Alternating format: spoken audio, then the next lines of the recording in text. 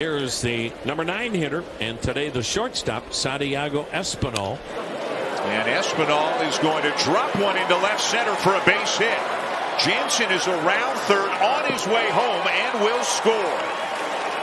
Espinal with an RBI single, and the Blue Jays have the early lead. Down. 1 0 Blue Jays for the number 9 hitter, the kid Jose Tena. Line drive, base hit center field for Jose Tena. His first major league hit, and it drives home a run to tie the game at one.